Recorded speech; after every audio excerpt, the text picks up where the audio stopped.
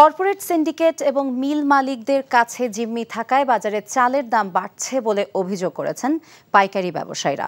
নিত্যপণ্যের বাজারে স্বস্তি ফেরাতে অসৎ ব্যবসায়ীদের দমনে কঠোর অবস্থানে যেতে চান বাণিজ্য প্রতিমন্ত্রী হাসানুল ইসলাম টিটু। আর খাদ্যমন্ত্রী সাধন চন্দ্র মজুমদার জানান, নির্বাচনকালীন সময় থেকে মন্ত্রিসভা গঠন পর্যন্ত সময় সুযোগ নিয়ে দাম বাড়িয়েছেন ব্যবসায়ীরা। মেজবা হাসানের রিপোর্ট। নতুন বছরের নতুন সরকারের শুরুর দিনগুলোই চালের দামের ঊর্ধ্বগতি দ্রব্যমূল্যের পাগলা ঘোড়ার লাগাম না লাগার বার্তা দিচ্ছে।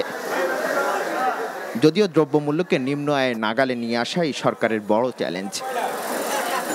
আর সেই লক্ষ্যকে সামনে রেখে টিসিবির পণ্য বিক্রি কার্যক্রমে রমজানকে প্রাধান্য দেওয়া হচ্ছে। উদ্বোধনী অনুষ্ঠানে বাণিজ্য প্রতিমন্ত্রী জানান, এবার সব মন্ত্রণালয় সমন্বিতভাবে কাজ করবে। মাল মজুদ থাকবে একমাত্র সরকারের গোডাউনে। ইমার্জেন্সির জন্য। কোনো ব্যক্তির গোডাউনে মাল জমা করে রাখার কোনো লাইসেন্স কাউকে আমরা দেই নাই। আমরা দেখব যদি কেউ বাজারকে এককভাবে নিয়ন্ত্রণ করতে চায় তার জন্য কিন্তু আমাদের প্রতিযোগিতা কমিশন আছে। আমরা যদি দেখি দুই চার পাঁচজন বাজার নিয়ন্ত্রণ করতেছে আমরা কমপ্লেন পাইলেই তাদের বিরুদ্ধে ব্যবস্থা নিব তাদেরকে আমরা কোটা করে দিব। পরে জাতীয় ভোক্তা অধিকার সংরক্ষণ অধিদপ্তরের এক মত বিনিময় সভায় বাণিজ্য প্রতিমন্ত্রীর কাছে চালের বাজারের চালবাজির নানা তথ্য তুলে ধরেন ব্যবসায়ীরা। বলেন অভিযান চালাতে হবে কর্পোরেট সিন্ডিকেটের বিরুদ্ধেও। প্রতিটি মিলিয়ে হাজার হাজার বস্তা চাল আছে এবং ধানও আছে।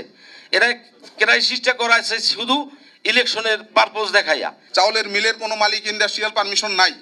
ডাল লোন হইলেও ষোলো পার্সেন্টের লোন আর কর্পোরেট কোম্পানি লোন হলেও ফাইভ পার্সেন্টের লোন সে যদি এক বস্তা ধান এক বছর ফালায় রাখে তার পঞ্চাশ টাকা ইন্টারেস্ট হয়। এই এই কাজটা আমাদের মতন ব্যবসায়ী বা ছোট মিল মালিক তার দ্বারা কোনোদিন সম্ভব না।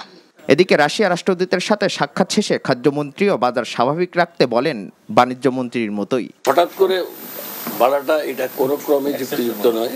এটা কুয়াশার দিক আর একসাথে ধান কিনতে গেছি এই জন্যই বলুন।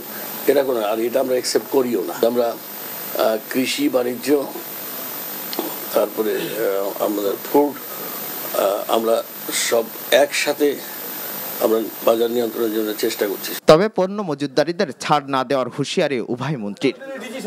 Misbah Hasan NTV news Dhaka.